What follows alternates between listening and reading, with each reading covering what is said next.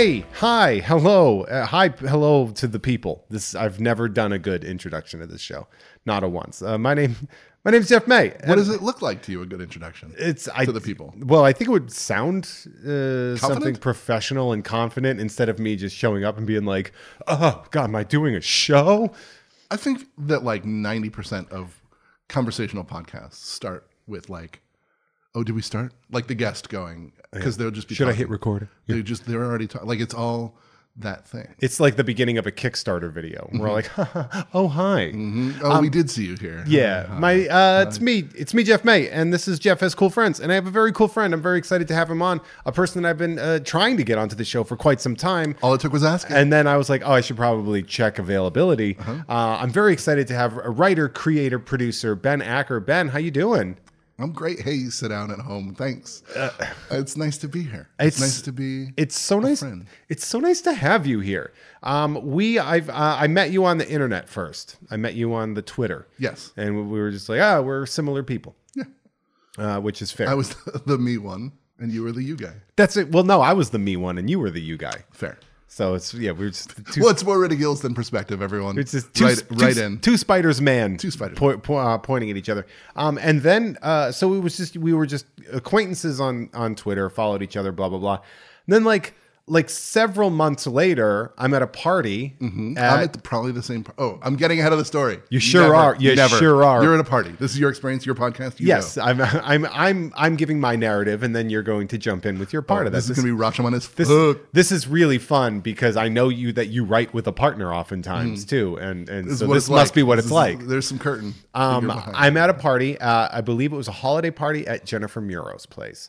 Uh, Jen is uh, one of the best people in the game. She's been on the show in this iteration. She's been on the show in the previous iteration. One of my favorite people in the world. And I'm sitting there, and me and you are in the living room talking, and then it clicks on me. I'm like, oh, we know each other.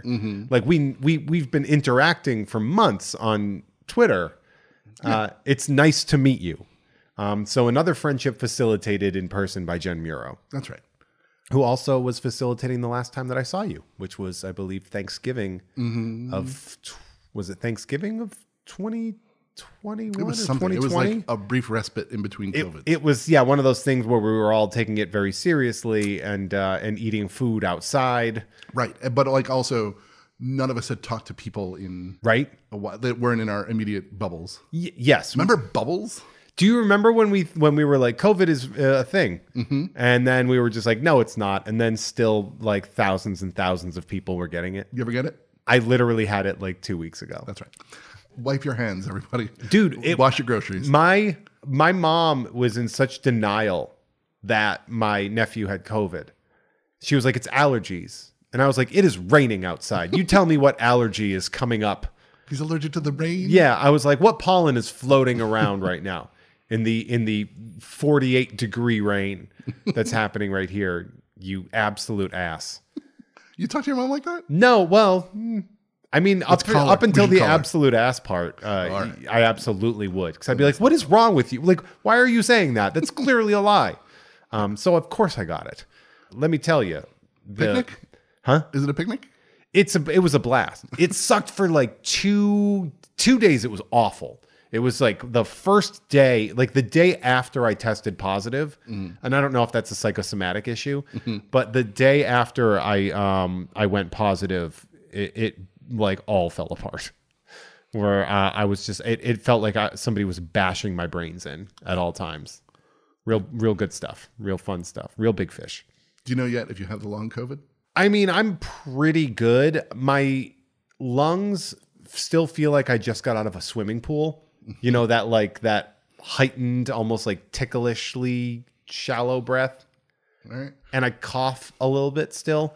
But, you know, I've been out of the contagion field for quite a while and I still like mask up when I go in public. Cause I'm like, I don't know. I don't want to make people uncomfortable Yeah. you know, having me cough near them after have ju- after seeing me on, on social media that I clearly had it. I'm very like full disclosure. I I went to my pinball league last night and told everybody in my group like, just so you know, I was, I'm not. I'm gonna keep my mask on until I play my game where I'm alone and nobody's next to me.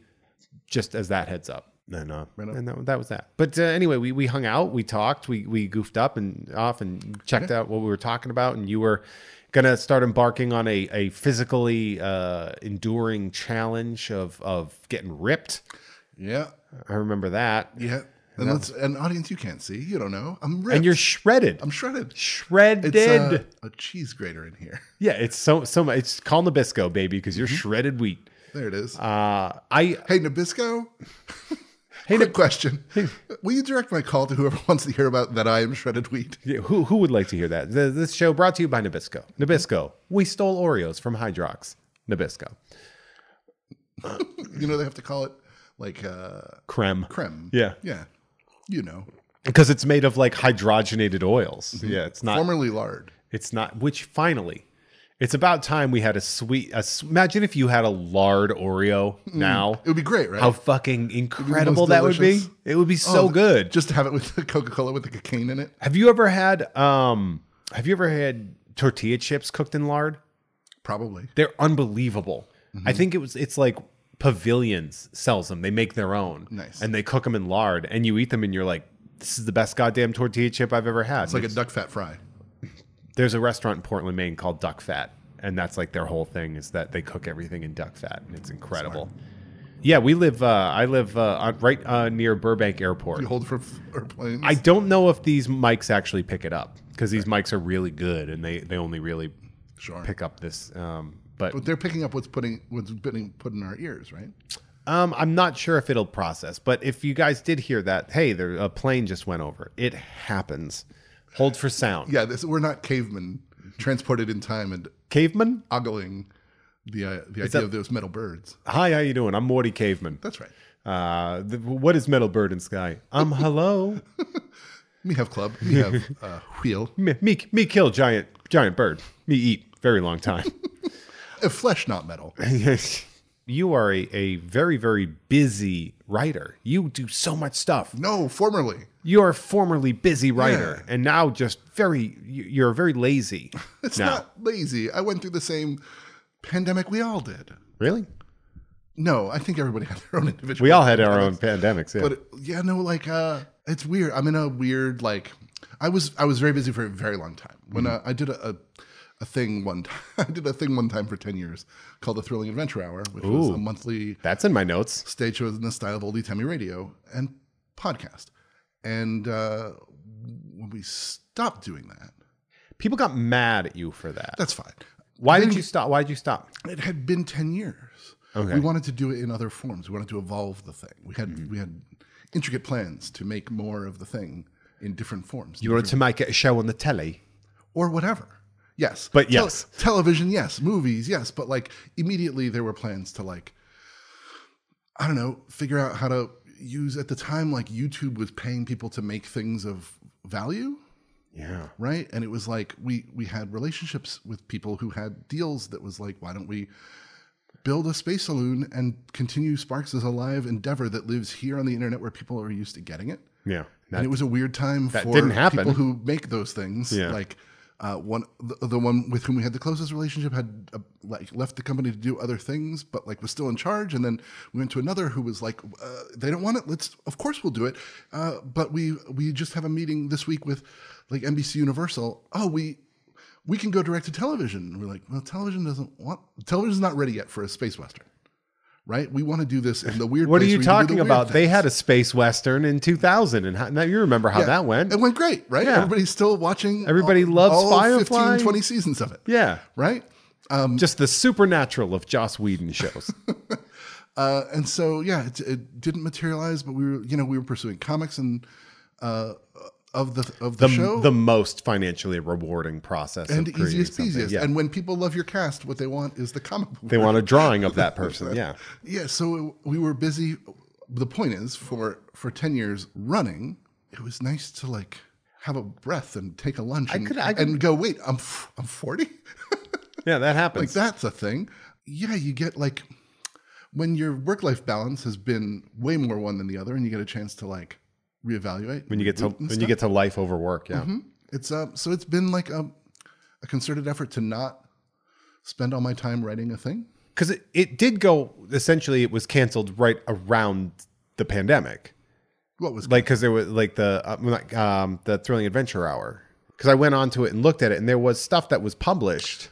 You mean comics and stuff? N- n- um, Or the, the podcast. Yeah, and it wasn't canceled so much as we But I like mean- we endeavored to do like studio stuff. Mm-hmm. Like we, we always wanted to wanted to evolve it in in ways. Like when you spend that long doing a thing, you know you know the core of it, and you can always Yeah. do that. But like seeing what else you can do with it. So You're gonna get bored if you don't. it's, it's not even about bored because we love the characters, and we love the stories, and we love the people that we work with. Like it's But I mean, you're not, but if you're not necessarily challenging yourself, Sure. there's a creative boredom in spite of how much you love right. doing the thing. Like, and could always do it. yeah, But it, and it's it's that, but it's also like if we could always do it, like that's a trap, right? yeah, But yeah, no, in the studio we got to we got to play with it. We got to like be head writers of it as opposed to the ones writing every episode, which we had dabbled with in holiday episodes in the live show. and you say towards the end. we, you mean my writing you, partner. Ben, and your writing partner, and this is insane to me that you're. I am used to it. yeah, I, I will get it. that. Like, I, I get it, but I like get how um, it's a it it of a requires a double take. That's right. Because you are Ben Acker. That's right.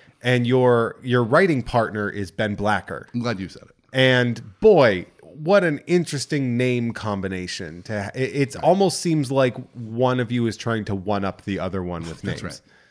It's him, right? It Like- seems like he's the one that's It- trying to one up it- me. or it se- yeah, or it seems like he's just like, well, I'm Ben Blacker, so you can't be. Mm-hmm. It's almost like both of you came in with the same name, and one of you had to change flip a it. coin. Yeah. The, the the two funny things that have ever been said about our names.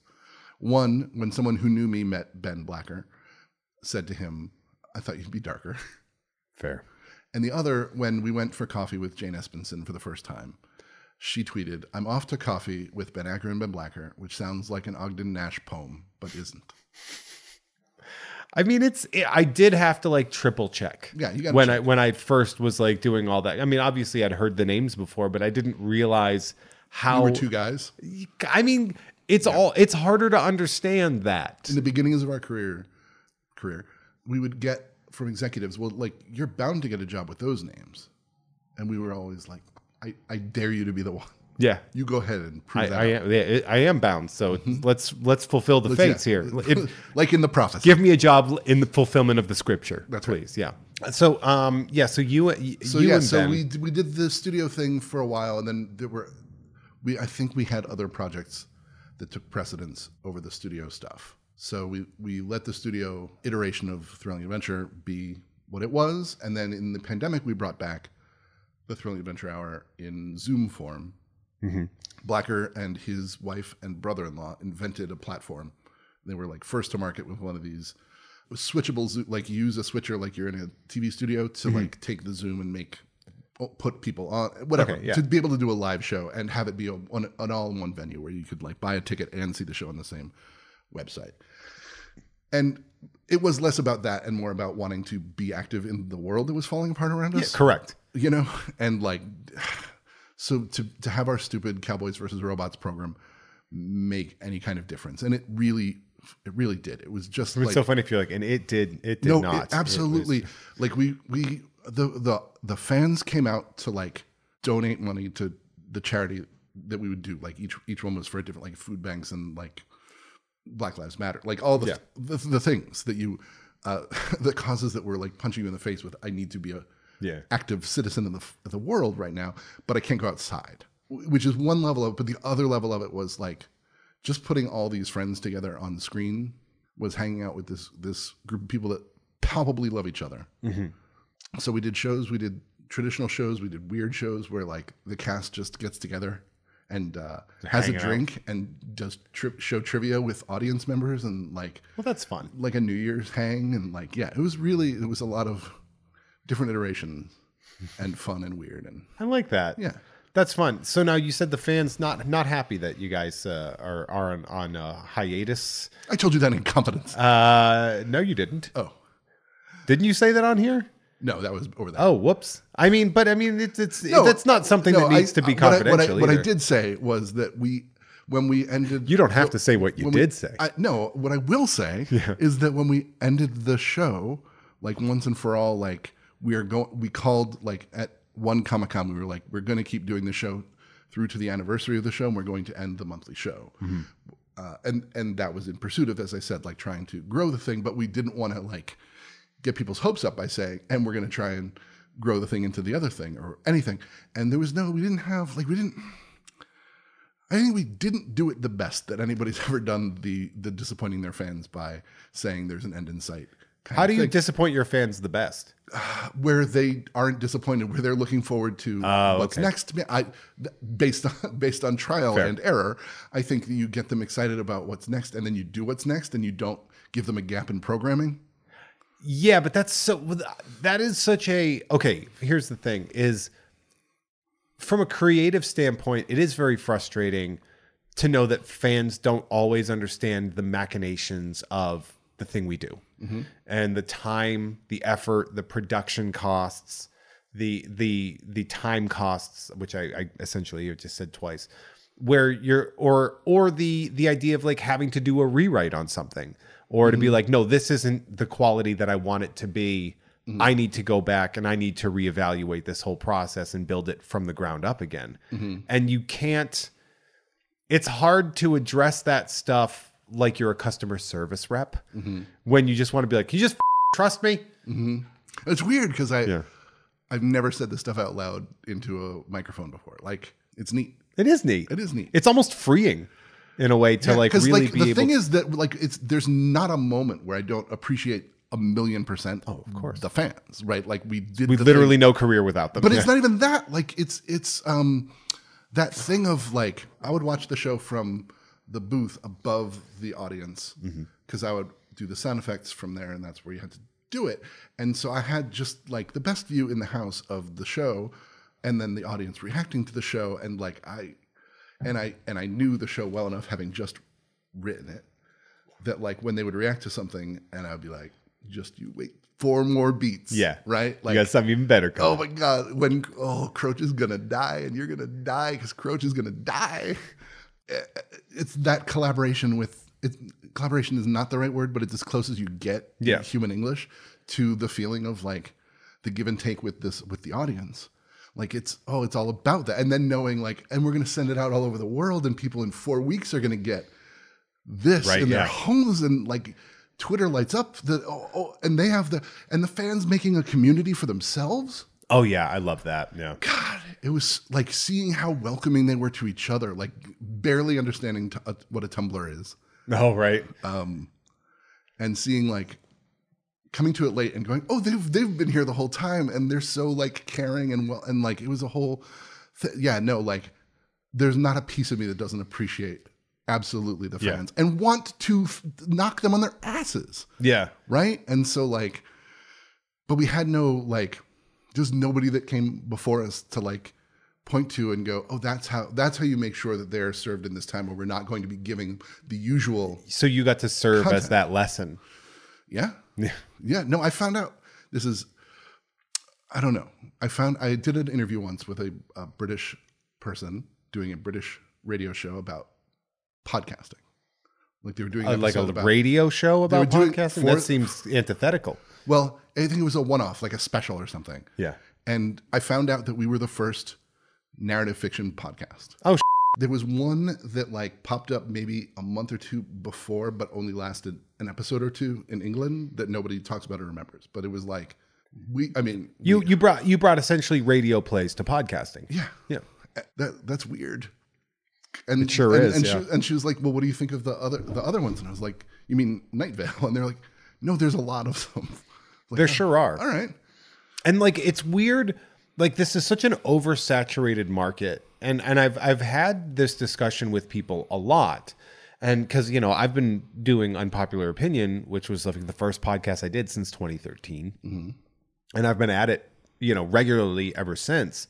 And you know like i'm one of the few people that that that's my career is that I make money doing podcasting. Mm-hmm. You know, it's the emotional version of OnlyFans where mm. I'm I'm you know, I'm I'm bearing I'm bearing everything. Mm-hmm. You know, I'm I'm emotionally nude when I'm doing these things and people seem to like it, but like I'm small. like I'm not a You can't huge do the things the big kids. do. I'm not a huge show. Like I'm not like a Night Vale or, or any of these ones where people are making, you know, eight hundred thousand dollars a year doing their podcast. I make I still make less than I did as a teacher, but I'm so lucky and I, mm-hmm. I still love it and I still recognize and acknowledge how small of a fish I am in this world and how how hard I have to work to mm. stand out mm-hmm. in this world. There is an aspect of like we worked really hard. Yeah. And, it- like- and the you know you know Is that does that make sense? the success feature of that is to make it look like you didn't work very hard. And which oh, is so I shouldn't mention. But no, but it, no, no, no. I mean, like when the product comes out, Mm-hmm. the seamlessness of it makes it look like it's natural and easy and and I mean that's anything. Stand Mm. up comedy, same thing. The best stand up comedy makes you look like a guy just walked up, grabbed a microphone, starts talking, Had some ideas, and didn't said them out loud. and then didn't spend three years trying to build up the specific nuances and Mm-hmm. inflections and word choices and and all that stuff in there. Oh, Pepsi's a funnier word than Coke, so Oh, is it? Hold Yeah. on. Is it? yeah, All right. yeah. Well, Because the C. yeah, well, I mean, Coke is a is a more striking sound, but Pepsi is a is a more humorous silly. name. It's silly. Uh-huh. It's two syllables. It ends in a vowel. It's just it's a whole. Huh? But like the the hackneyed bit about words that are funny, hard K is that K sound is the like They're satisfying. they're the, the that's their uh, platonic ideal of the funny word. there's a there's a great bit that Mulaney does Mm-hmm. where he talks about he's like talks about turning off his TV to like fool his parents, and he said he talks about how you know, and he's like, and the screen is still sizzling like a glass of Pepsi, and it's just like when you look at it and you look at the art of that mm-hmm. line and how it's this the kind of throwaway thing, but you know that Pepsi is clearly the funnier mm-hmm. word to drop in there, and so like the science of telling that one little line is so clearly visible if you've done the process. Do you think Pepsi Cola would have been funnier? No, just Pepsi. Just mm. that two syllable line landed so well, and it lands on that that a long vowel. It's it's just great. But Pepsi Cola would be an iambic pentameter. It would be, but that's not funny. Iambic pentameter ain't funny. That's for nerds. I'm doing a poem, I'm doing stand up. God damn it!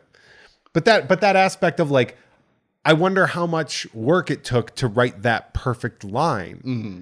and to know specifically, and to and the experience that comes through that. It's not just that he when he was writing the bit he knew that, but he had years and years of of prior experience writing those jokes to know exactly what will land perfectly, mm-hmm. and and that to the layman is very seamless looking and very simple looking. And then in the long run and you talk to a creator and they you explain and understand how much work mm-hmm. went into it it's like wild mm-hmm. and that and your show i mean your show it, it clearly because it's scripted people will know that but at the same time when done right looks easy because that's the whole point mm-hmm. you don't want to watch a movie being like, man, the, I'm thinking about how they made this. like that, that's not fun. This is Wes Anderson. I mean, in a way, but it also brings you apart from the pretense, you know, because you're like, oh, this is fun. I wonder how they did this. Oh, I missed the joke that's not funny. Was that a burn on Wes I mean, I, I like I like a lot of Wes Anderson movies. I, I liked The French Dispatch. Isle of Dogs was great, but you know, it's still Wes Anderson. I love it. Yeah, good. But um, so Is he a fan? Do you know if he listens to the show? he's a huge fan. He's a patron. Yeah. nice. Yeah, he's just Get he's, at me, Wes. he's not at the producer line, so Oh. so it's not gonna it doesn't matter. It's, it's fucked. Uh, you know, he's I, I enjoy I enjoy Wes Anderson. Well, the first one was Rushmore, right? That was the first. No, the first one was Bottle Rocket. Bottle Rocket was the But first. one. Rushmore was the like The breakthrough. evolutionary jump. 'Cause that, that was like an MTV movie essentially. That was like one of those ones that MTV really got behind. And Yes, they used um they had Wes Anderson do a bunch of stuff for the MTV Awards that year, like Max Fisher directing all the nominated movies. Yeah, because I remember that they went really they went really hard on. they went really hard on on that and correctly. I, You know, it's like getting behind the the right directors. Like they had a big relationship with Spike Jonze and not the worst person to to have a good relationship with. Did you ever see that Spike Jonze jeans commercial with Tainted Love? Yes. Like a dude's being rushed into, like he got hit by a car or whatever. he's Yes. being rushed into the ER. Yes. Yes. That was Spike Jonze. Oh, that makes sense. yeah, and the the heart monitor and the things putting the breath in his Beep, lungs beep. turned into the, a, a big musical number. It was really fun. Yeah, that I, I yeah, wow, I totally forgot that that I didn't know. I didn't forget it was a Spike Richard. Jones. His name is Richard. What's your name? Richard. You're gonna be okay, Richard.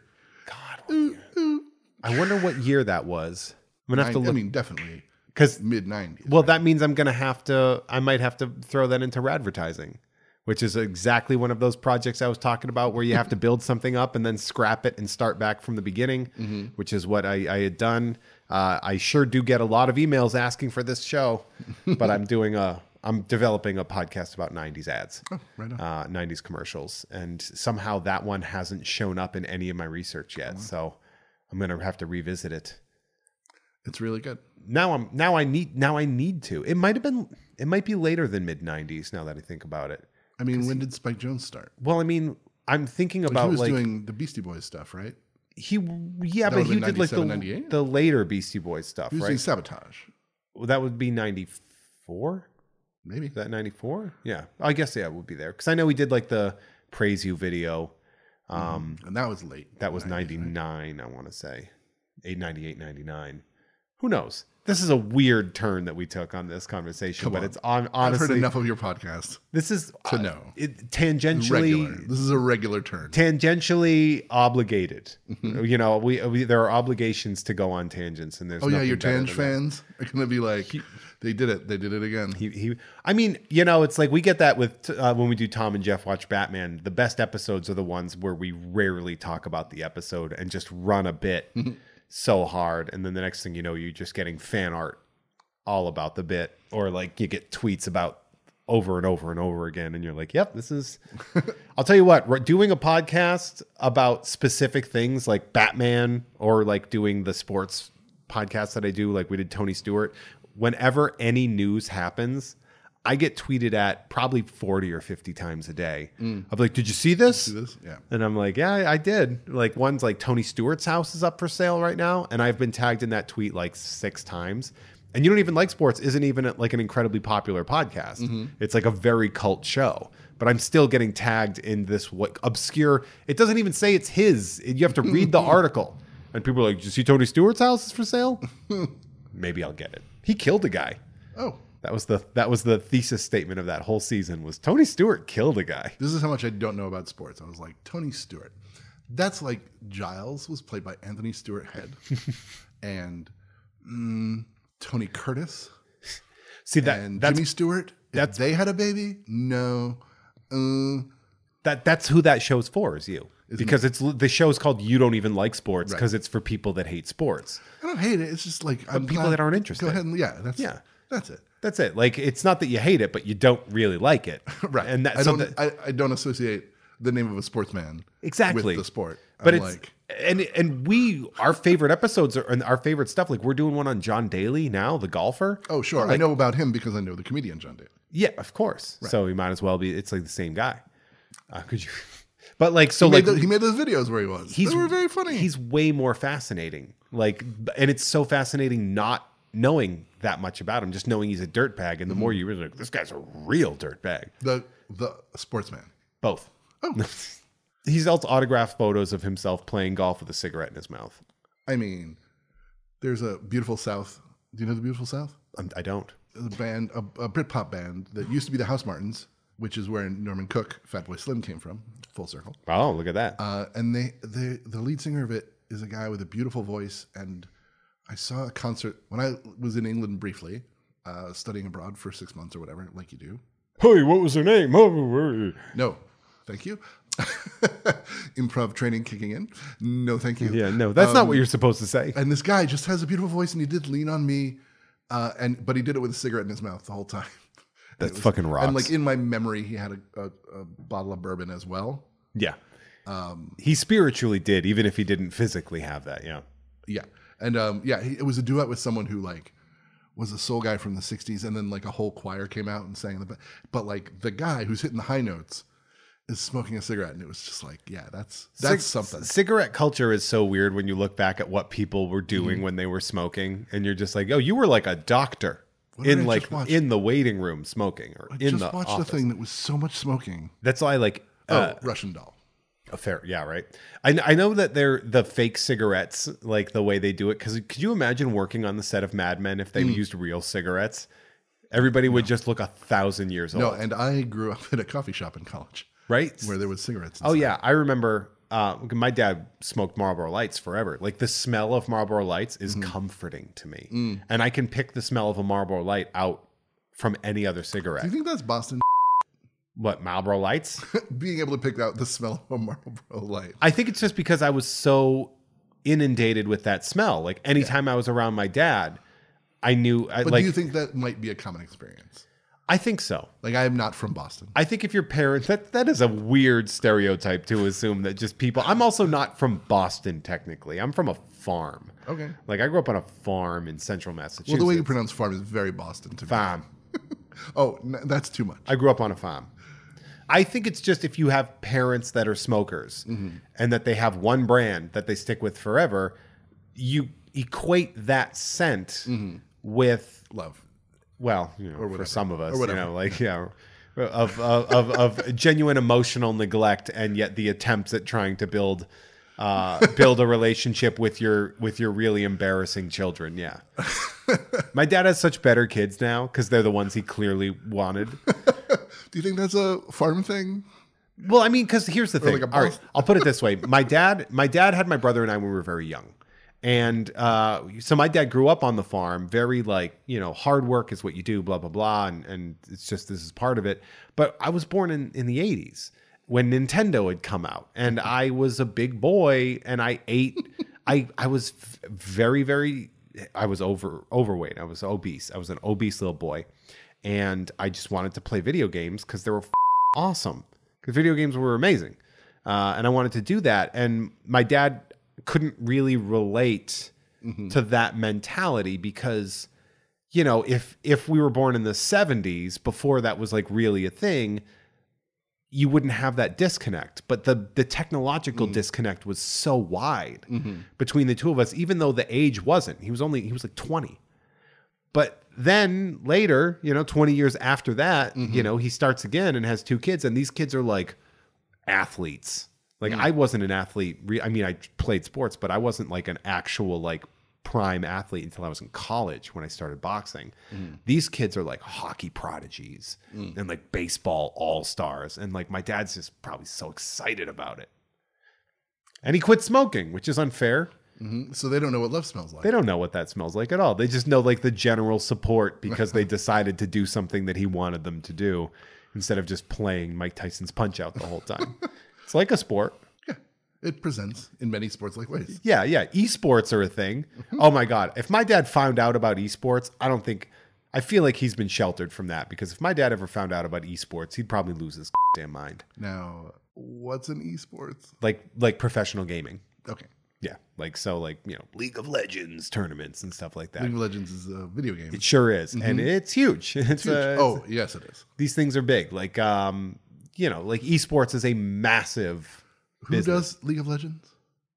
Is it Blizzard or is Yes, that sounds right. right. I don't know. I went to the company that, like the the building, Blizzard? where they, where they do it. In Burbank, no, in Santa Monica. Mm, towards Santa Monica, like Culver City. Yeah, in the Culver Santa. So it's not. I think is it like so it's not. it's not. It's not because Blizzard I think was in Burbank.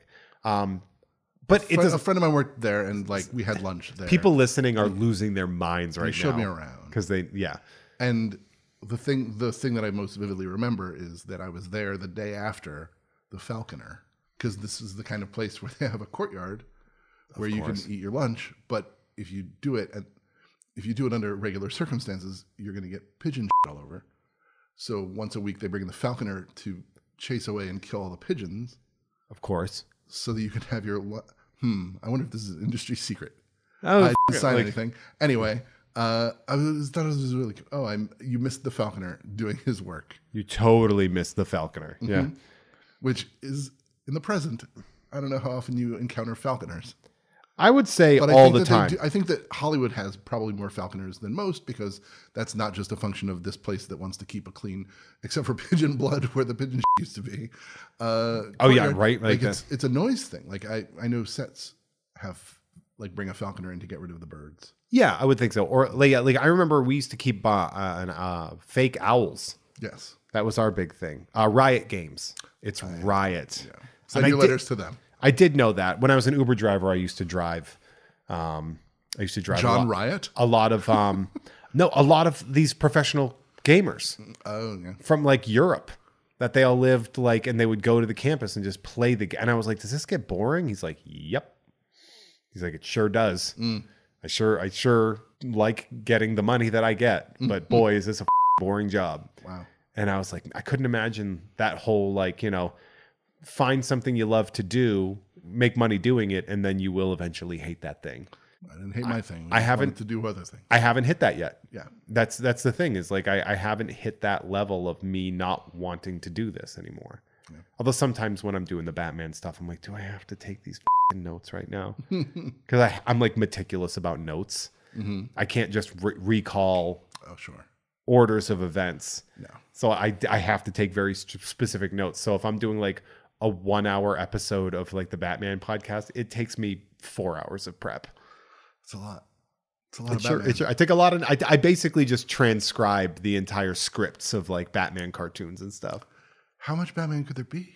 There's so much. Oh my God, Ben, there's so much. And it, it's never going to stop. Oh, not now.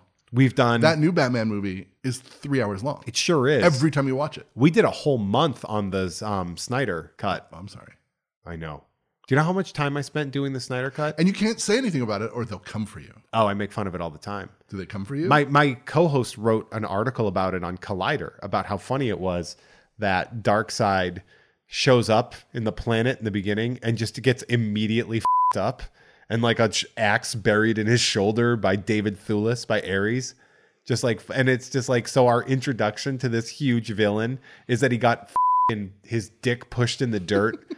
just just- the slowest way to send someone's dick dirtward. just just got he just got bodied so hard. And and and he wrote like a very funny article but it's about how like Darkseid the big bad his introduction isn't showing up and kicking ass. It's literally getting his ass kicked and then leaving.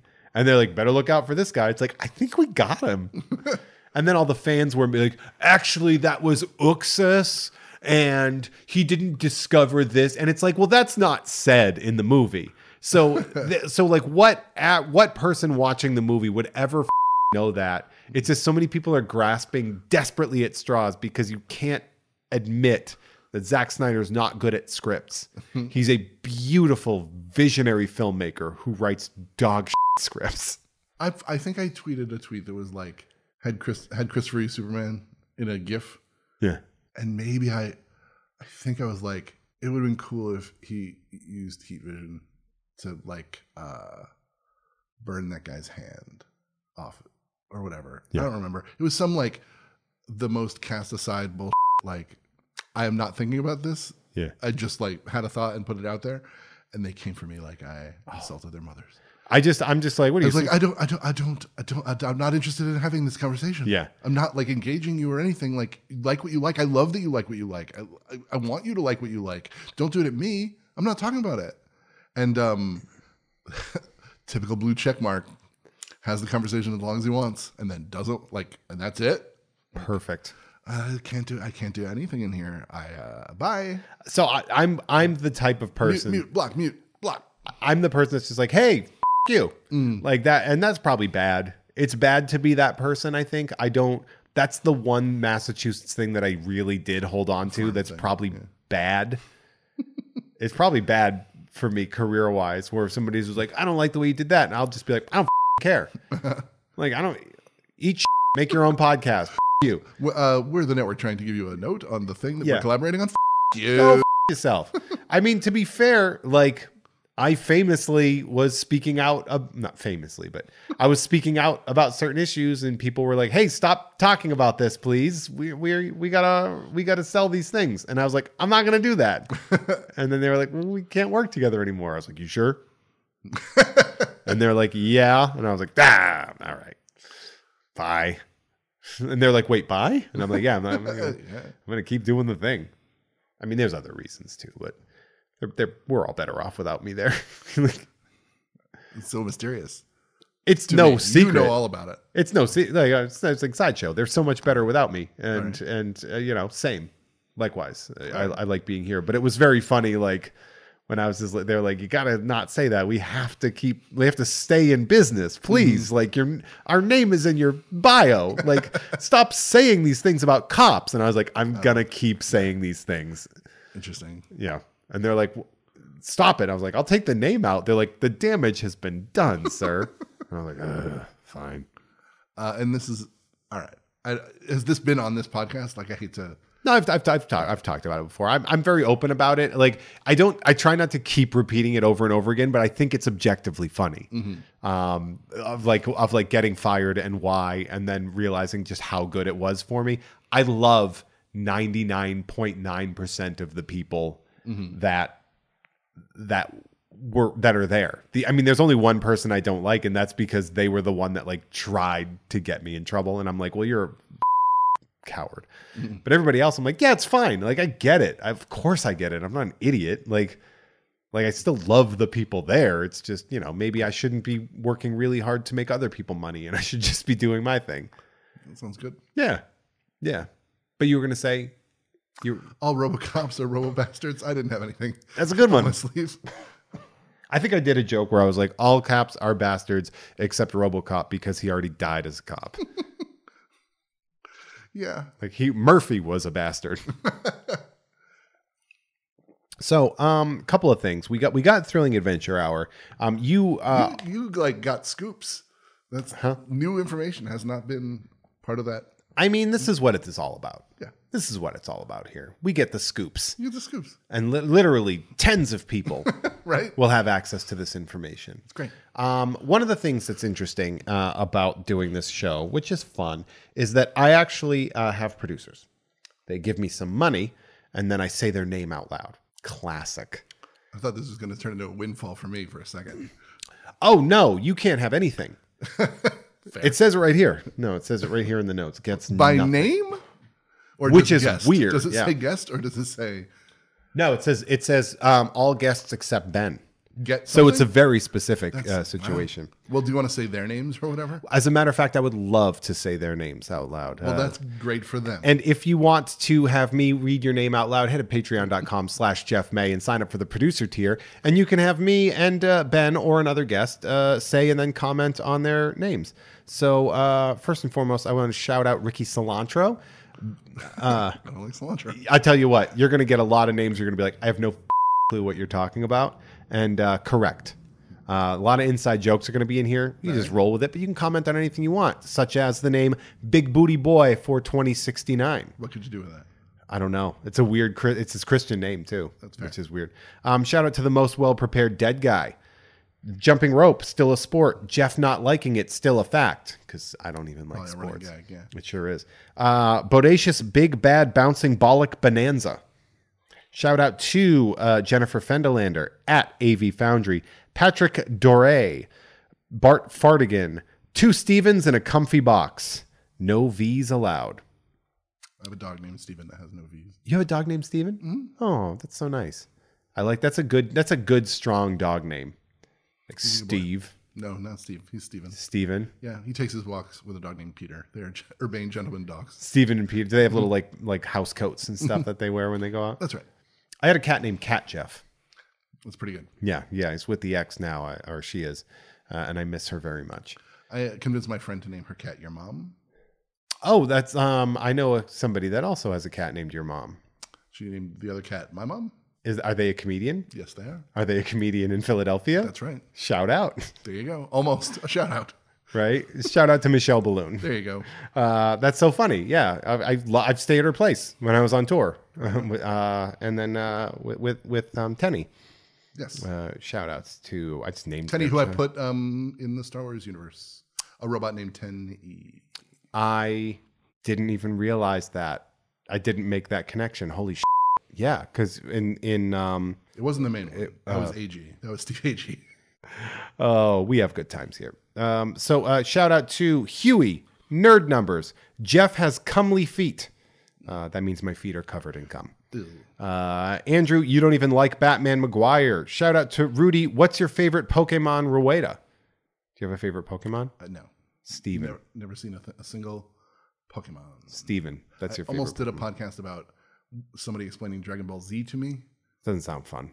It might have been, it might not have been. We didn't do it. Fair. Uh, shout out to Goji, Gregarious Gregorio, aka Rad Mummy. Kool Aid Molotov says Twitter jail sucks, but telling Ted Cruz to fall onto a box of scorpions with poop tipped stingers was worth it. Agreed. Agreed. We should be threatening more people and wishing harm upon them. Or And I genuinely, a handful of people. I genuinely believe that. Uh, That's the secret. Uh, shout out to Gerard Ruane. Uh, Farty Marty tried Jeff's egg based diet, and all he got was this stupid nickname. You like eggs? Yeah. I eat a lot of eggs, like a lot of eggs. I realized the other day, if this is the time for stories, I will tell it. Sure, yeah, it's always the time for stories. You know when you go to a diner and you're like, uh, uh, you order an egg dish and they're like, "How do you like your eggs?" Yeah, It only just occurred to me that you're allowed to say soft scramble.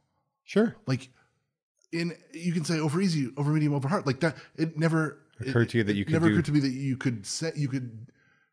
I- It has always been my experience. Like I would a say wet scrambled egg. I would say scramble. I'd hope they would give me a soft scramble, but no, there's a name for that, and so that you can ask for it. Yes. and they will give it to you. That's I actually order my eggs over medium well, which is a weird way to do it. Yeah, but that's a weird way to do it. here's the thing: I like a runny yolk. Uh-huh. I will vomit if my white is runny. All right. And so sometimes if you're not clear that you need that white firm, Mm-hmm. you'll get one and you cut into it and it's like that white juice comes out and I'm Mm. just like I'm going to puke my fucking guts out right now. So I always or, or I'll just be like uh, firm white runny yolk Yeah, that's. I think that's safe and for you. but then people look at me like I'm a f- diva and I'm just like, "Well, I'm sorry I don't want to puke in the diner." But also, like you're asking me how I want my eggs, I'm giving you the most efficient Yeah. description. I remember one time I had asked about chocolate milk at a diner. Mm-hmm. I was like, "Do you make your own or does it come out of a jug?" And they were like, "Oh, it's a jug." And I'm just like, "I'm gonna pass and just get water." And the people behind me were like talking on me about that. They were like having a discussion with each other to the point where I just turned around and Mm-hmm. I was just like, "You know, I'm allowed to want the things I want Mm-hmm. and just not buy them if I don't want them." You idiot! Like. I could, it, it blew my mind that somebody would have a, a loud conversation about that. And it blew their mind that you didn't want I didn't the want. thing that they would accept without thinking. Yeah, But you're, uh, I'm just no. I I like it when they make the chocolate milk where it's not aggressively chocolatey. It's not get- heavy. you're gonna get, yeah, you're gonna get a homemade hand. You're gonna get like maybe a tall. You get the, the extra. Yeah, yeah. Or like, and you see the little chocolate sauce on the side Mm-hmm. of the glass. I love that. What I don't love is a extra heavy, thick, viscous chocolate milk experience. Mm-hmm. I don't want it. I don't want that plastic chocolate milk. That's right. And these people were like, "Ooh," and I'm like, I'm not a fucking diva just because I want to enjoy the things that I pay for. Yeah, I asked the question so I could get the answer. Yeah. I got the answer. I made my decision. What do you care? If this wasn't an option, the lady wouldn't even ask me what I wanted. She'd just be like, "You're eating uh, pancakes today." Like, I get the chair. Oh, I'd love some pancakes right now. I'm not gonna lie. Um. Okay. So anyway, shout out to Funky J. Show me in the rules where it says a dog can't play basketball, which it's probably in the rules now. Oh yeah, they have to put it in the rules by now. Yeah. By now they were like, and also, Yeah, no, like rule one. This is for humans. yeah, this is a game for human people. Uh, Gray Man of the Nightmare Potluck. Everyone is welcome at the table. Jeff using Deep Blue Sea memes to break bad news. Sorry about the death of Betty White being broke to some people by me making a Deep Blue Sea reference. Is that the smart sharks? Deepest Bluest. My hat is like a shark's fin. LL Cool J. Best song ever. Sh-? You're familiar with the zombies, the the group, the like- zombies, or uh, like the, the, Kinks? time of the seasons. Yeah. And, uh, yeah, no, I'm aware. There's some good songs. Is all I'm saying. Like, this is, it's what a weird what a weird two bands to throw at me as like you know there are much better songs like the zombies and the kinks which like songs, sure those they're albums i mean and i mean yeah, Those yes bands, yeah. of course but also at the same time i'm like those are those are your two not like the beatles and stones or something well, You- like you went- I think I think my favorite song is a Kinks. No, is a zombie song, but I think that most people's favorite song is a Kinks song, which is Waterloo Sunset. fair you think everybody's favorite song is waterloo sunset by the kinks I'm pretty sure That is ninety nine percent of Americans, very like everyone everywhere's favorite song, like when pressed or when like when Yeah. when really pressed they're really like i gotta tell you i gotta be honest it's a kinks song that you probably don't know um, but hum it for unless me unless you like Yeah. headline at Largo sometimes. Yeah, it- that's kind of yeah, that's a very specific.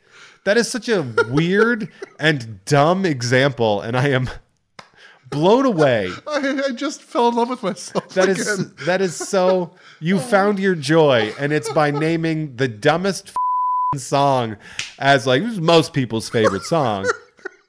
not everyone. You know, not Mine. not not everyone's favorite song. I would say ninety-eight percent of America's favorite song. World. The other two percent, "Sugar Sugar" by the Archies. Okay, Uh, now can we talk about how many great songs the Archies have? The Archies is great. Jingle Jangle, Bang Shangalang, uh, So- You Little Angel, You, Waldo P. Emerson Jones. It- There's so it- many good songs. It took several attempts for us to have non-nonsense words be the title of the songs. Oh my God! You know, there's so many great Archie songs like Shebang Shebang. Right, Beep Um, Bop Boop Bop. Yeah, Beep Bop Boop Bop. Huge. That, was when the robot joined the band. Of course, and then uh, let's not let's not forget, of course, the the Judy Jetson's favorite song, "Eep Op Eep Op Ork Ork Ah Ah." That's right. Uh, which still in my head to this day. Well, sure, they put out that cover album. America's favorite song, Yeah. of course, uh, is "Eep Op Ork Ah Ah." That's in the future, By stupid. the, we're in the future now, so All right. Oh, so you mean We that the finally Kinks aren't up. contemporary reference? no, it's you're like, you know what the best Christmas song is? "Father Christmas" by the Kinks. It's a good Christmas. It's one of my There's favorites. like five good Christmas songs. I'm gonna be honest with you. I'm gonna beat the Christ out of you for saying that. I'm such a Christmas guy. I made a mix of here are the good Christmas songs, and it's maybe five songs long. I'm I, we totally disagree with you on that one. There are You can't disagree there- that I made this mix. no, I'm gonna disagree with your opinion. playlist. I guess you disagree. Yeah, I'm. I've never agreed with a Spotify playlist, unless it's like here's an album and these are the songs on the album, and then I'm like, all right, I You guess I'll check out this one. Spotify playlist called "Everyone's Favorite." Everyone's Song. favorite songs. It's two One- songs. it's one It's just.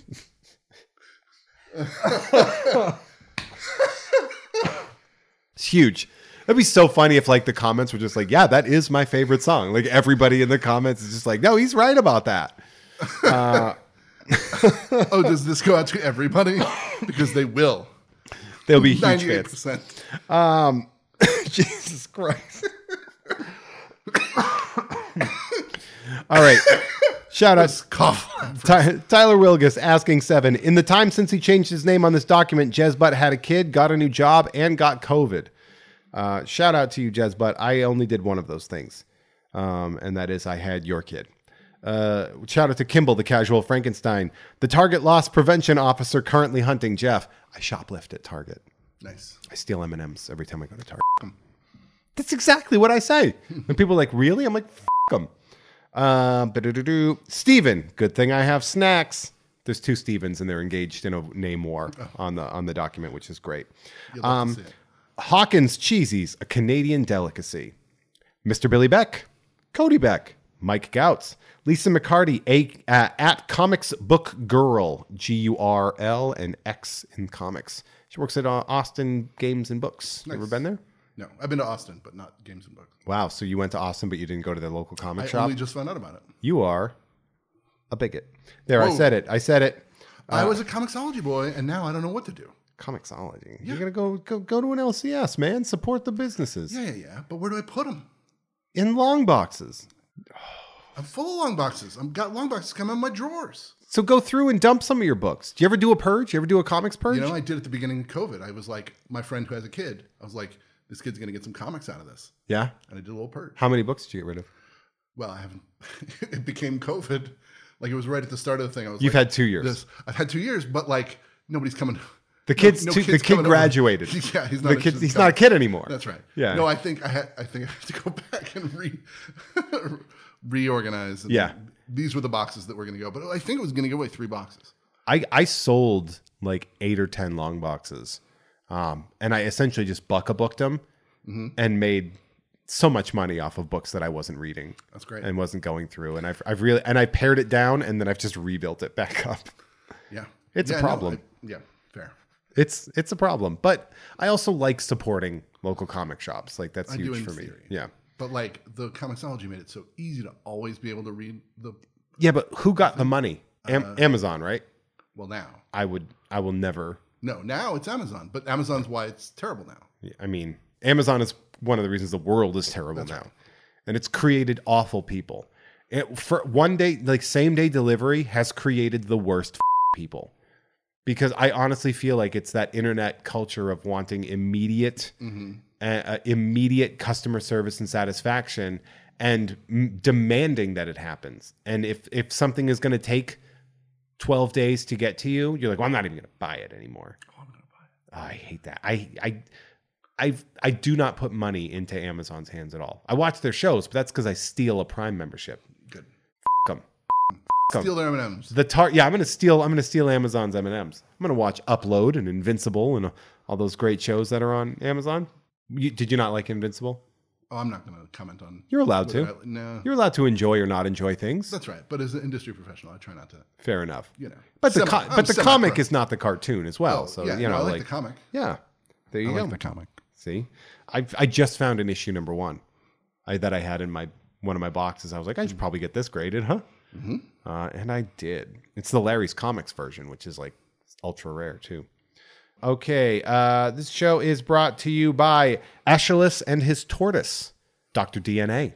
Shout out, uh, thank you, Doctor DNA. Uh, shout out to Thor, creature feature, creature feature. Thor.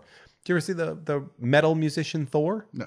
We're gonna YouTube him at some point in time. You're really gonna enjoy that because that guy is something. If I don't like heavy metal, will will I? I hate it? heavy metal, but you'll still enjoy it because it is absurd. So you do sports shows for people who don't like sports. Uh-huh. You have heavy metal for people who don't like heavy metal. Okay, so this guy is a body, a Canadian bodybuilder turned metal musician that used to do like feats of strength Mm-hmm. and do like, and his songs are just like hilariously bad Mm-hmm. to the point that they're f- like fun. They're fun bad songs, and and some of them are pretty catchy. Right. and uh, like overly pro- like overproduced. Mm-hmm. Like you could tell that there's like a lot of a lot of thumbs in the pie. Like the real Thor's music would be. Kinda. Yeah. It's really funny. The guy looked like He Man. Like he he was like a big Why not look like Thor? Like why not commit to looking like Thor? because He Man was like a copywritten character. Thor is a god. Okay. So I mean, he was just like this. He was big, muscly dude, but kind of like Do you ever do an Oops All uh, producers episode of the show? Because I feel like we're just as good here. As I mean, it were might as well be like eh, the the fun part about the producer stuff is it does it does spur fun conversation. I don't think we're gonna top. Water Oh, we've got Sunset. plenty of time. We got plenty of time. I'm uh let's see. Shout out to I'm never gonna have a history podcast, you little shits, so stop asking. Shout out to the scene in Meet Joe Black where Brad Pitt dies. Mackenzie Sisyphus may be happy, but he's into CrossFit, so f him. Chill. Shout out to Instagram and Twitter's at Bob underscore of underscore skull. Bring back Pepsi Blue. Mm, ooh, all right. Shout out to Lemming Malloy, Norm from Cheers. Extra special shout out to Norm from Cheers because he goes through and with a fine tooth comb picks out all of my curse words. Will he pick out mine? He f- sh- f***ing right he will. F***ing A right he will. And he sends me a little list and then I send it to my editor and it saves him the time to edit. Do I heard that on the episode I was listening to on the way here.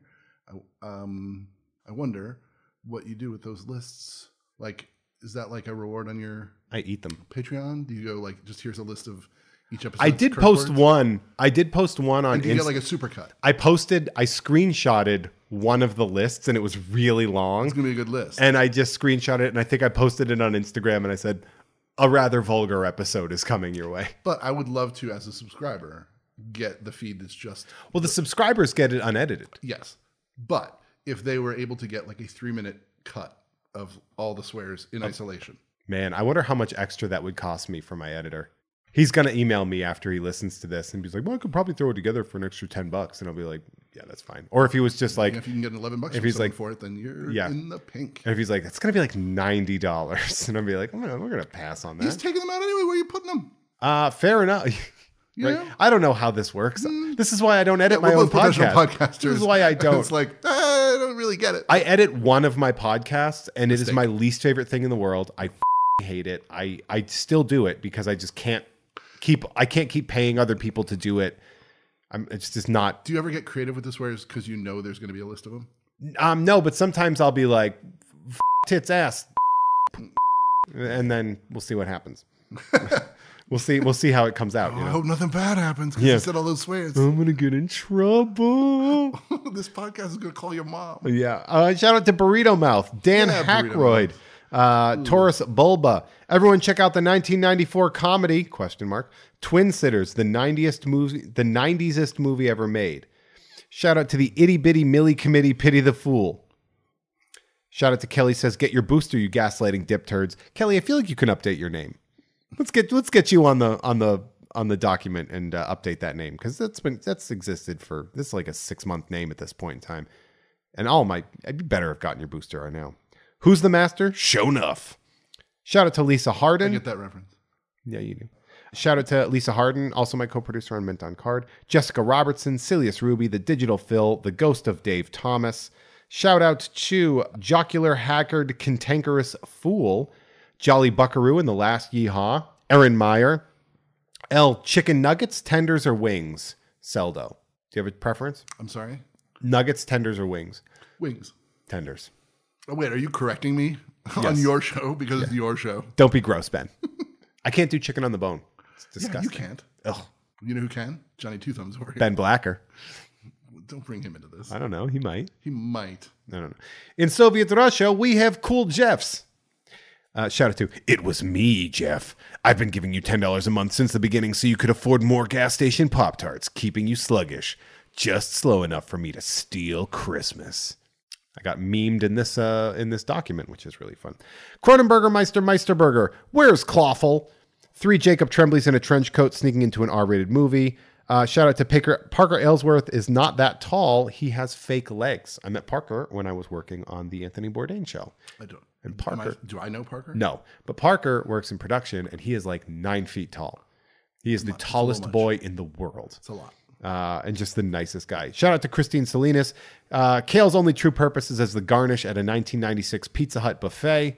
She Brew Sleeps. The Pajama Eye on Instagram for pictures of my feats of strength. Uh, shout out to Verbose Minimalist, Adam Warlock. He wants your soul. Shout out to Ace of Base. Or, oh, excuse me. Shout out to Ass of Bass.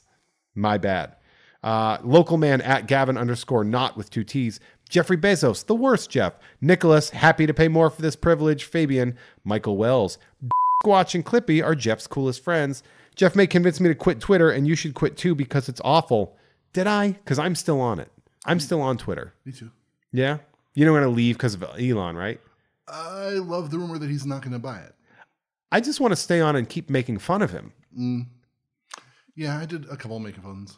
Al- Also, too, Instagram and Facebook are earned are, are owned by a worse billionaire. Mm-hmm. And like we know now, there's no good billionaire. No, no, Elon's an edge lord billionaire. Like he, he's he's if Joe Rogan was a billionaire, just like a real f- dip. But like Zuckerberg is like a sinister millionaire. Mm-hmm. I mean, they're all are billionaire. Excuse me. Zuckerberg is like. Yeah, he sure is. he sure is. That I'm pic- sorry, I got suddenly super high. yeah, that's fair. Which is weird because you don't you you haven't engaged in in any No, uh, just in the middle medicine here. Yeah, you just did you want some weed? No, apparently. we spread it out. You already had it. Um, and then uh, finally, shout out to when I learned Taco Bell is bringing the Mexican pizza back, I got excited, but then I got worried that that made me happy. Um, which is correct. You should be worried about that. That is an unfortunate thing to like because the, physician. the Mexican pizza is objectively a bad food item. That Pizza pe- Hut? uh, Taco, Taco Bell. Bell. Yeah, they're all parodies of food. Yeah. Taco Bell at least does like the cheesy gordita crunch. It's delicious. The Mexican pizza is terrifying. Come on. Have you had a cheesy gordita crunch? Come on. Have you? Answer the damn question, Ben. Probably. I don't think you have. Because if you had, you wouldn't be so dismissive and derisive When were they it. invented? The cheesy gordita crunch within the past 10 years. After my Taco Bell time. The flavor the flavor portfolio of a cheesy gordita crunch is unbelievable. It's so good. Tell me about the flavor portfolio. It's so good. It's No, the, the like tastes are good so bad, great. But what is in this portfolio? It is a it, well, it's the texture for one because it's a soft, it's a thicker, so, um, soft tortilla, a gordita, if you will, Uh-huh. wrapped around an actual taco, sealed to it with cheese. Uh, in there, you have a regular taco, but it has like a like a creamier kind of sauce, and then you add fire sauce on it. a creamier kind of sauce. There's like a cre- like a sour cream maybe or something like that. I don't know what it is, but it's unbelievable. I don't question it. I just eat it because it's unbelievable. Yeah. It's so good. All right. Don't don't because I know you don't believe me right now. That's right. But it's so good. It's good. What do you like to eat? I don't know. The f- do you eat, man? I don't know. Have you ever been to the Palm? Oh. I don't know. Have I only ever go to the Palm restaurant. the, I only eat at the Seasons. oh, okay. Well, what do you like to eat? Nothing. I don't want to be made fun of. what's your favorite fast food I don't do fast food ever at all? ever at all. Really? I mean, I, I feel there was a moment in my life where it was like, uh, I- I'm done. When was that? Like Tuesday? Oh, I see what you did. You see? You see that? No, it wasn't Tuesday. It was a long time ago. What did you used to like? Yeah, I guess there was no like super standouts or anything. You just made like such a pained face when I Yeah, like- that's so I've never seen somebody Like, have like a my- non-opinion my about favorite, fast food. I think my favorite like fast food thing was high school, like a sausage McMuffin with egg. That's a great. That's damn good. That's a good breakfast. But then you like you you you grow up, you drive somebody to the airport. You're like, it's early. There's a McDonald's. I'm gonna get the sausage McMuffin McMuffin with egg, and you're like, it ta- it tastes kind of like masking tape must taste like. It's not. It's not. It's not good, but it's good. There's um, do you know Richard Herring, British comedian? That name sounds familiar. He has a he has a podcast, and he was on a season of Taskmaster. He has uh, on his podcast, he has emergency questions that he'll like in, ca- in in case of emergency break glass, ask these silly questions, and one of them is about traveling in time. If you could time travel, where what food would you eat? I think is the gist of it because in his mind, he either they changed the flavor of his favorite potato chips, or he's changed and he wants to know which it is. Okay, so yeah, he wants to go back and have his brand of. Yeah, Hmm. If I could go, if I could travel in time and eat, eat a thing. anything, Mhm. I would go to the 1400s Mm-hmm. and eat a person Oh, just to see. Uh, did they do? Did they serve a lot of people in the 1400s? I don't know. They I'd probably weren't healthy to eat in the 1400s. probably probably like like a marbled, uh, a, a decently marbled but relatively lean. Is this like a Caligula times? no, the Caligula times is was like BC. 300 BC, Yeah. right? 1400 is just like That's that's you know why I picked it. It's the Black Death plague. It's the oh, the don't plague eat the people in the plague. I want to see what's up. Ugh, get, getting confused. No, I don't know. I would That's probably. like uh, fugu stuff, right? I would probably. I think everybody would go back to when they were like nine and eat something that Yeah, they loved as a kid. Because I remember like it's one of those things where people there's these this mythos that the things that we grew up with are so great. Mm-hmm. When you hear like people are just like, oh, ecto cooler, Mm. and it's like, do you remember what that tastes like? Because it's Mhm. it tastes like Yeah, nostalgia is not a flavor. and when you finally have these things when they're back, you're like, yeah, ugh. like it's Yeah. actually not good. like go watch an episode of Scooby Doo. That doesn't hold up. We watched the Scooby Doo Batman ones from the up. 70s, and they are wild. Mm-hmm. They are just un- like they. It's they're offensively written in that there's no rhyme or reason to any decisions, any process, any storytelling whatsoever. It's just clearly two dudes got mega high hmm. and wrote the weirdest thing. I wonder how long Cass Elliot had been dead before I saw the episode of Scooby Doo where they met Cass Elliot. right? Like it was weird when they would do those, like the Scooby Doo, the new Scooby Doo movies. I think is what they called them in the like the 1970s, where they're like it's Scooby Doo and the Three Stooges, you know, from like 30 years before we made this. Is that true? well, the Three Stooges, what they were in the 40s, right? That was like Their heyday or they died? their heyday was in like the 40s, right? That sounds right. Because I remember like didn't Moe do a Hitler thing? So that you kind of feel like that's something. Uh, say more. uh, I think there was a there was a Hitler version of something that happened in the Three Stooges. But and then like these movies came out in what 1972, and you're just like, are people still clamoring for? Uh, can we get Dana Gould on the line? Was there a Stoogesance in the 70s? I could I could call him, I guess, but that would be a weird guest thing to have. Just give us a brief history of the 70s perspective of the Three Stooges. Yeah, he, he's probably yeah he's gonna be like, I'm working right now. This like, is your you- work. This is your work. He's like, he's probably like, why are you calling? You never call. And I'm just like, real quick, me and Ben Acker have a question about the Three Stooges. Oh, Ben Acker has a question about the Three Stooges. They were active from 1922 until 1970. Well, so it might have been like, rest their souls. Here's one last. It kind of like it feels, but like to do that, to do that, because these things were produced in 1972. So I'm trying to think you of were like, firm on that date. Do you know that? yes, Know that? because I I was You- yeah, because you're a Batman I, expert. well, Yeah. I, I just I relatively recently watched it within the past like three months. I watched these things, and I think I still accidentally have not canceled the Boomerang subscription on Valerie's Amazon account. She's fine with it. Uh, me she's, to tell you. she's really not. She's told me to tell you. It's cool. She's, I, I, I was like, you should probably cancel this. She's like, I'll get to it. I'm like, I don't know how to cancel anything on Amazon. I just know how to steal Amazon. um, so you're gonna want to fix this. And also, can you cancel your Amazon? What is boomerang? It's like the it's the the Hanna Barbera and Looney Tunes. It's like a cartoon Netflix channel kind of thing. It's really seems like a bad deal. There was um a moment where I wanted those sound effects specifically for our show, Yeah. and they didn't exist online. Like it was a moment where it had just been taken, like scrubbed from online. Really? Yeah, like you couldn't get You couldn't find the those specific, like the and stuff like that. like all the Super Friends. I wanted Super Friends stuff Okay.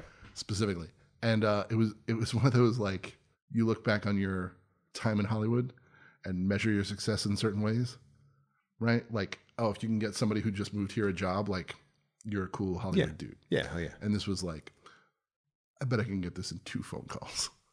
And like in one, I got somebody grab me a bundle of like authentic Hanna Barbera sound effects. Really? Here's every one of them. Wow. That's awesome. Yeah, it was pretty, it was pretty dope for this specific.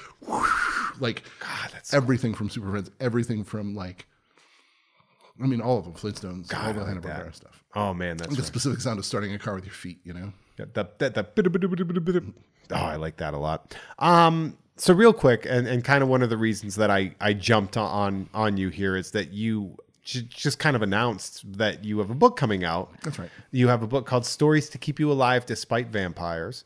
I have a You just held it physical copy in my hand, but I also uh, you sent me a digital copy, That's right. and I, I read through uh, a portion of it. It's a longer book than you'd think. It, it's it is a long. When I saw this, I was like, oh, like scary stories to tell in the dark. Yes. And then I'm like, no, this is like novel size. But that's the thing. I mean, that's what they do now. Like, Fair. I mean, it makes sense. yeah. So this is my summary might not be accurate, so I'm going to say it, and then you tell me what I'm on. So basically, you've written a sort of in-world anthology of a sort of of like kind of tongue-in-cheek horror for kids. ish. I think yes, it, yes, absolutely yes. Yeah. I, I wrote a um a book. I, I had in mind a short a book of short stories in this in the like spirit of scary stories to tell in the dark. Yes. Um, but with uh, I don't know to be able to play around with spooky and silly and legit scary and and keeping in mind that writing for kids and writing for adults the way we've done it in like thrilling adventure hour is not dissimilar you know? When i started the editor said think about a framing device which gave it a narrative structure around the anthology aspect. And he said and think about um, recurring elements within the stories whatever that means to you Mhm. and that that, meant a lot to me. It was it became a game of like, oh, this story that I thought was done has a, a part two or part three, or th- this crosses over with that in an interesting way. And so there's like, Did you have when you were writing this? Was there a lot of like the yarn connecting to different? Um, yes, and there's one story in it that has like the most, like the the deepest into the piece. The the last one that I wrote was yeah no all all sorts of characters from all sorts of stories ties it all in together. tied in here. Yeah. the the the thing that I first noticed, and I think that most people should notice, is that the narrators, the narrator speaks mm-hmm. in a very specific tone that I don't think we've really seen in a kind of story like this. Narration mm-hmm. in horror tends to be more of the Serling um, style, and this is not that. No, this is breathless.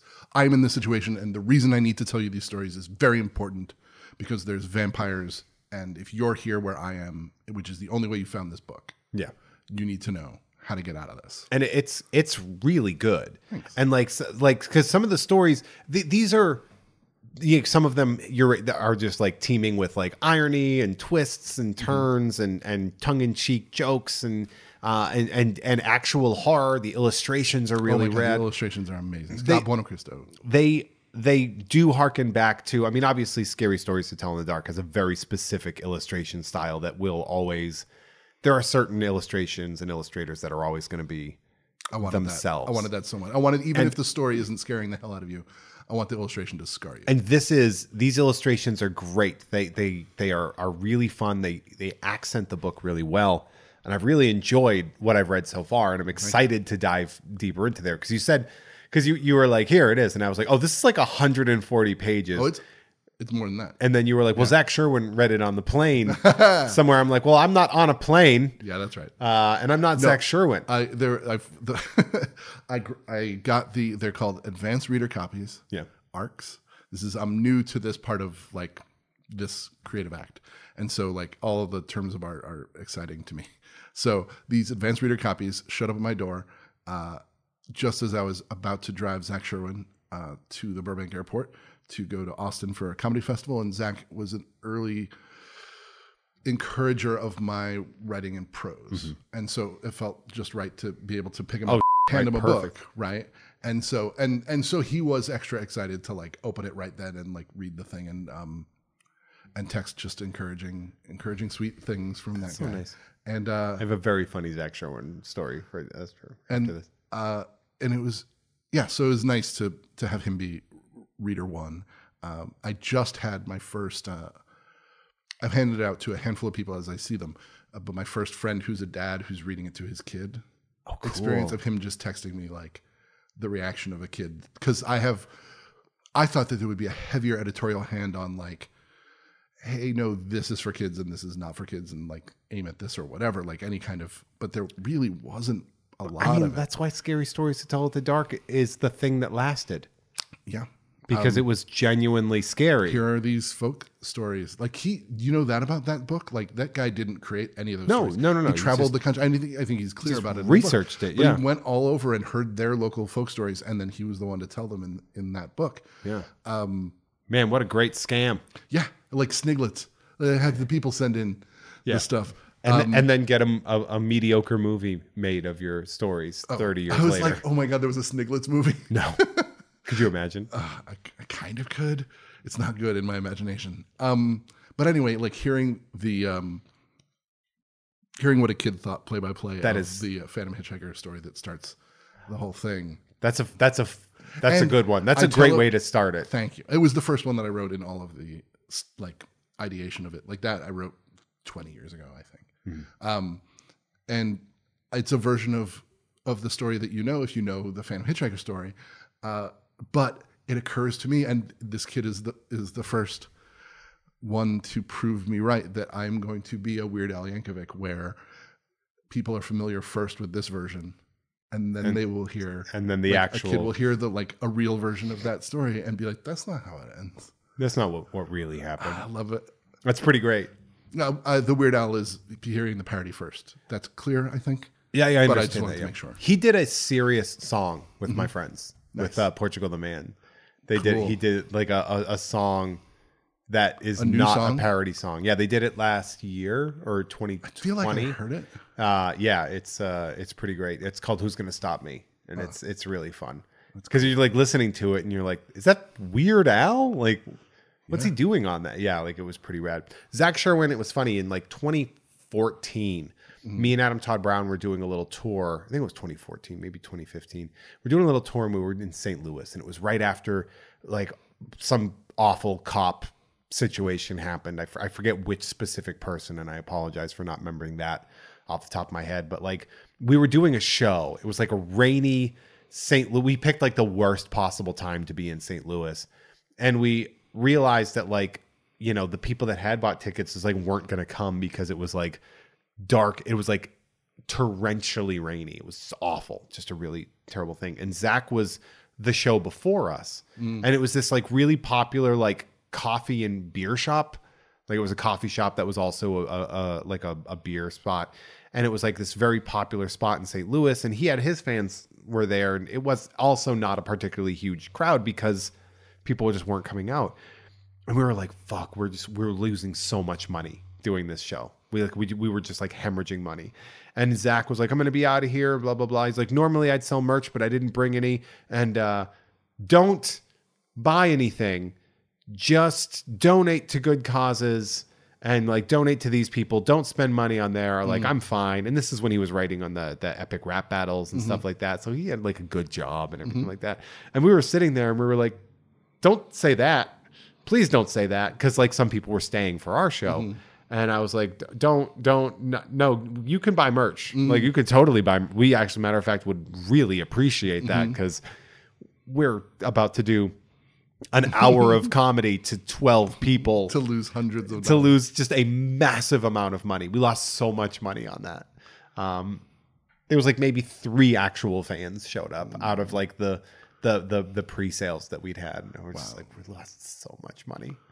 Um, it was so good. So how long did this take you? I mean, obviously you said you had written parts of it. Did Yeah. you write this in piecemeal and then start to tie it all together I had, over I had- years? I submitted to the editor um, a handful of stories, two like maybe four in in the style, and two of them I think made it in, like felt right, like as it continued uh, to be stories in the book, and and so as I was like putting it together, I think I think that first month or so I wrote 12, 15 I had 12, 15 stories, turned it in, and that was when we decided we could release it now as opposed to a year from now. really? Um, yeah, he was like, if you aim for 10 months from now, then we can get out by like Halloween 2023. And I was like, well, let me try and aim for one year earlier than that. And we'll see. Like, if, if we have the default, like, if I can't do it, then we'll know we'll aim for hold off, yeah. 2023. But I turned in a batch of stories that was not enough, but it was close enough to enough. And in his view, it didn't take much editing. Mm-hmm. Uh, so he's like, we're in good shape. So let's do the 2022. I could And easily see I this at like a in- Scholastic book fair. Right. It's the cover of it is like This is such a really book fair cover, yeah. Yeah. And like the fact that it's scary but not too scary. Like Perfect. It's a sweet spot. of Perfect. that stuff This that is- I love. And I mean that's where it came from is like the idea that like he he he does kids books, this editor. Um so he was excited Simon and Schuster, right? Yes, and he was he was excited about like the kids book of it. Like the original draft of the Hitchhiker story had a, a Garmin joke in it, and his thing was, can you take out like to make it a kids book? good. Take out the jokes that you need to be a grown up to know. Can you live with that? And I was like, yeah, no. If I can aim it at an audience, like if I can get it to kids and have this be like a thing that is big and scary and funny in their mind, like it, I don't know, it felt like a, a noble thing to do to to do the kind of book that thrilled me to get at a Yeah. library or at a book fair. And I'm not I'm not gonna lie to you. That's a good financial decision. Sure, Like I know that that's a thing where you're like, yeah, but I don't really care about that. But let's be realistic here. You should care a little bit about. yeah, that. no, I definitely should care more. I mean, part of the the um, math of you, can you lose the Garmin joke is yeah, I've been able to tell every joke I've wanted to tell in the Thrilling Adventure Hour for you Yeah. know however long we did that show. You know, the uh, the idea of adding a discipline to this where you f- you meet the audience where they live is great. nothing precious. Yeah. and that's perfect. Yeah. Um. How, okay, so So it took it took me like a, a, a straight week of just working on stories to get that first batch of stories, and like that was really kind of you. Yeah, no, because like, I that's- agree, but it's also like for so long in um in quarantine to not have a deadline after having a deadline of like write 75 80 pages a month for 10 years Yeah. like that's that muscle going Yeah, i you- need that deadline you let- this give thing me up. this deadline and also like there, if you look i think there's probably 25 stories total Yeah. so it wasn't like it's done. Every time I was like, should I add more? Because I have these other ideas that I haven't turned into stories yet. And every time it's like, yeah, we need to hit, I think 50,000, 60,000 words or something. These these book people look at things in words in a way that I can't. And and uh, They probably know the science of it pretty well, and yeah. Yeah. Um. but I think that the this this This is gonna- in your hand is 180 pages, and I think that the thing is 192 pages. So I don't know This is what the things where where those pages this are, is going are. to do well.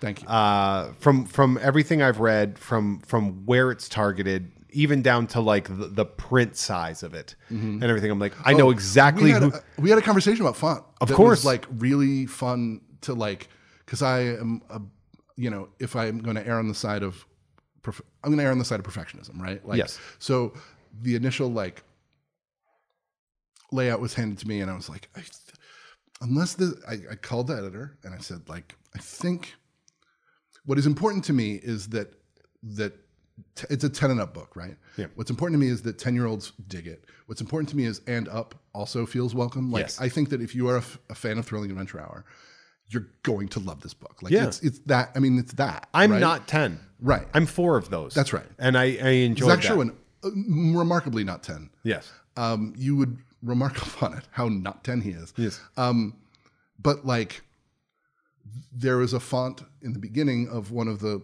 iterations along the way that felt to me that it was very 10 year old Mm-hmm. and that if you are and up you're going to be like oh this isn't for me from it. Yeah. right and and if that's a decision if that's important if that's like this is how we reach the target audience Was it Joker Man font? i i couldn't i couldn't tell you but i know that there were serifs is that how you pronounce that Yeah. I don't know. um I don't. I know nothing about words. the kerning was particularly a, a reference, uh, uh, but uh, to call like this is the thing, to call the editor and, and voice a concern about a font is it's so different from like writing comics where like done is good, Yeah. right. Um, to have a guy be like, oh yeah, we'll give you.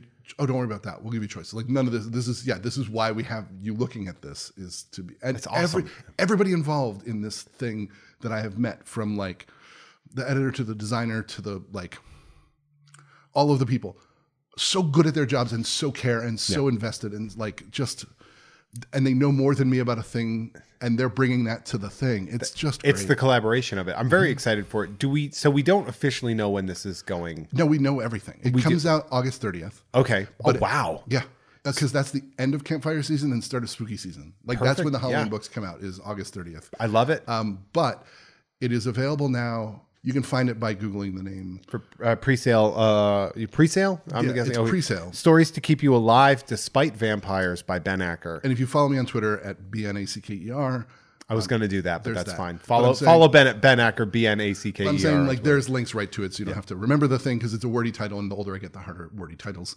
are sticking. But uh, it is it is. I implore you to pre-order because apparently it matters. that's very important it's a thing. Um, and I'll I'll, I'll do something too where I'll, I think I'll I'll I'll get myself a, a copy of that as well in the real world and appreciate and um and maybe we'll we'll give it away or something on the on the Patreon as well. Yeah, it's Um, cool. I have like a, f- a friend who's like, I'm gonna buy some for my kid's school, Yeah, which is like Jesus, like that's humbling and that's awesome. it's huge. Like Yeah, buy them for schools. Buy them. I I just heard you're allowed to buy them for nieces and nephews. Oh Which yeah, is like that's that's and cool. especially to get these kids off of their damn phones.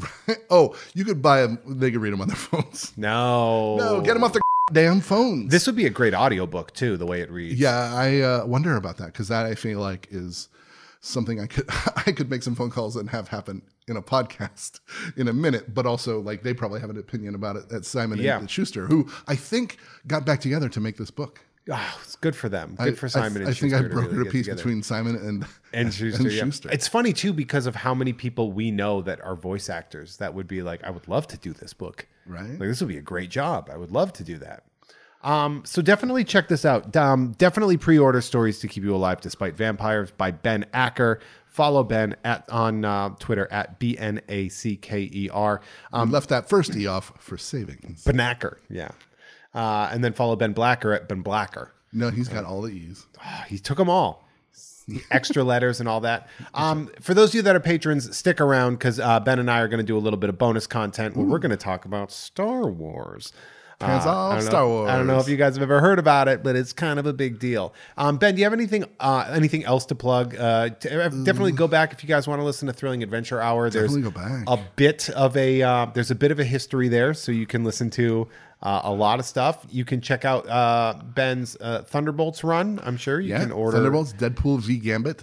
The V is for verses. The V is for Vargan. That's right. No, that's Check not. out the Vargan Vins. The, Var- the check out the Vargan vids. Deadpool and Gambit. That's a good. Anytime they put Deadpool on a book, you're like, I guess I'm going to make some money off of this, huh? Oh, I don't think when we did it, they- No, they were like, no. It was just just before he he really like blew up again. before he or- broke again. Yeah. Yeah. Um. But yeah. Anything? Any other things? Um. No. You could also check out the book uh, from a certain point of view. Uh, which is a Star Wars book that uh, I'm nodding, uh, home audience. you I'm are you nodding. are you are nodding, and that's something that we're going to talk about uh, when we get back. Um, for those of you that uh, like this, and uh, if you're listening to this for free, hey, thank you. I bet you sure would like to hear all the curse words and all the Mm. extra bonus content. Effin, effin and Jeffin. and you can get that at patreon.com slash jeff may uh, for pretty cheap it's a pretty affordable uh, it's a pretty affordable setup and then uh, you give me money and i can keep doing this and everybody wins Yeah, and I I'll do- just be cool over here, hoping that the book works out. Look man this book you're gonna make more money off this book than i make In an doing the episode of the podcast show? in one episode bare Jeez minimum Louise, you promise? I sure do. All right. I sure do. That's Um, great. but you can check that out. You can also check out uh, Tom and Jeff Watch Batman on the Gamefully Unemployed Network. Uh, you can also check out Unpopular Opinion and You Don't Even Like Sports on the Unpops Networks. I and, dare you. And you can follow me at Hey There Jeffro on Twitter and? Instagram. It's a good follow. Um, I still have. I think I'm pretty. Am. I supposed to be talking? Uh, yes, yes. I think I'm pretty funny. Yeah. I think I'm pretty good at funny Twitter. enough. It's At Twitter? certainly. I'm certainly good at Twitter. I'm not be funny in the real world, but on Twitter, Who I'm, knows? Twitter, what I'm does that even great. mean anymore? I don't even. Nobody even knows It's- until Elon shuts us down. That's not what's going to happen. Um, but again, uh, Ben, thank you so much for joining me. And uh, for those of you that are patrons, we'll see you in a split second. And, uh, and and for those of you that aren't, we'll see you in a couple weeks. So bye. Say goodbye. Say goodbye. Rest in peace, Gil Gottfried. Oh no, that's not the thing. Bye. Bye.